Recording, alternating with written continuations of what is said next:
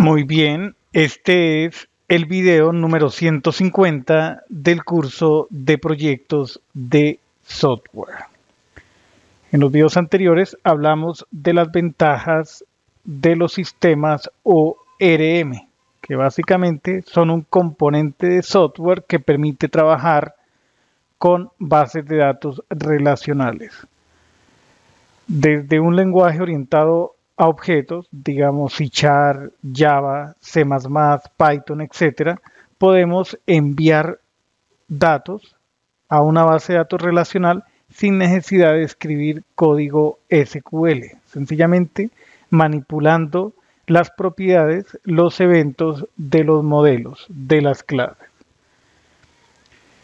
Hablemos de el ORM SQL Alchemy, que es SQL Alchemy.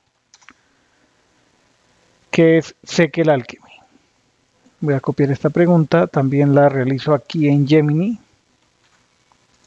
Queremos saber cuál de los dos responde primero. Está un poco lento. Eh, Alchemy es una librería, a ver, resalto aquí, es una librería de código abierto para Python que se utiliza para interactuar con bases de datos relacionales.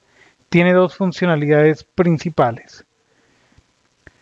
Por un lado, es un SQL Toolkit. Proporciona una capa de abstracción sobre diferentes motores de base de datos, permitiendo a los desarrolladores escribir código SQL independiente del motor específico utilizado digamos que al utilizar la abstracción de SQL, no hay que preocuparse por los detalles que requiere MySQL o PostgreSQL, SQL Server u Oracle.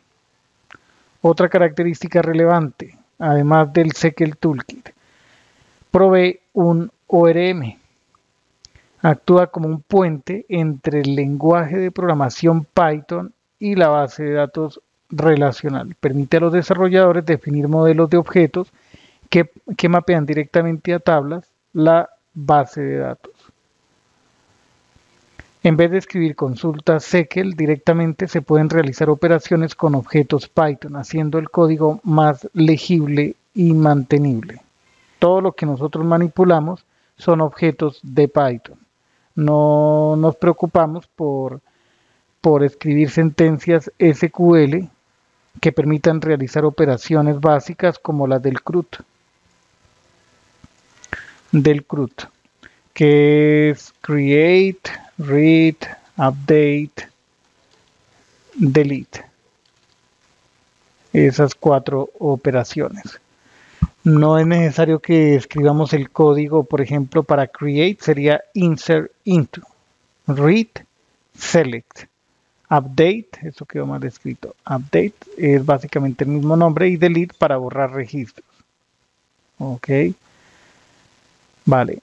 Entonces, eh, ahí están esas características. En vez de escribir consultas SQL directamente, se pueden realizar operaciones con objetos Python. En resumen, sé que el Alchemy, te facilita trabajar con, base, con bases de datos relacionales desde Python, desde dos maneras distintas.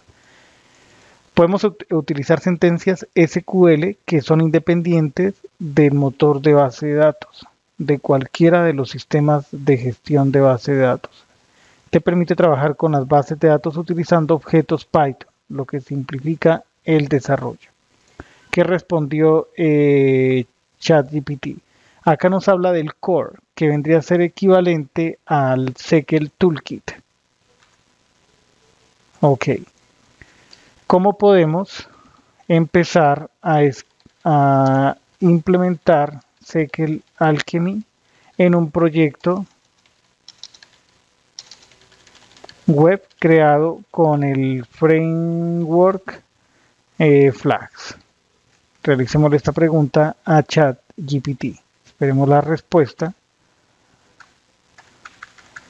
Voy a escribir aquí mismo la pregunta en Gemini para integrar SQL Alchemy en un proyecto web de Flags, puede seguir estos pasos para empezar. Lo primero es instalar el módulo Sequel Alchemy. Flash Sequel Alchemy es una extensión de Flax que simplifica la utilización de Sequel Alchemy con Flax. Instala la extensión mediante pip. Este sería el primer paso. Bueno, entonces nosotros podemos ir eh, configurando, siguiendo cada uno de esos pasos. Eh, me ubicaré aquí en el editor. Voy a cancelar la ejecución. Limpio pantalla. Escribamos, escribamos aquí actualización del modelo relacional. Eh, e indiquemos pip install es flags ¿Cuál es el nombre? Eh, lo olvidé. Flags Sequel Alchemy. Eh, presionamos Enter. Recuerden que debe estar activo el ambiente virtual para que se instale en el proyecto actual, en el ambiente virtual. Eh, ahí ya quedó. Actualmente en el archivo requirements no está esa dependencia, entonces básicamente escribimos pip freeze eh, requirements. Ahí ya aparecen dos dependencias adicionales, eh, Sequel Alchemy eh, Sequel Alchemy, Sequel Alchemy 2.0.19, Greenlet y Typing Extension. Son básicamente, podríamos decir, Greenlet, Sequel Alchemy y Typing Extension son las dependencias del módulo principal que es Flash Sequel Alchemy.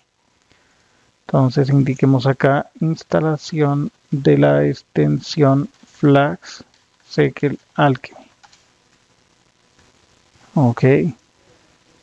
Listo.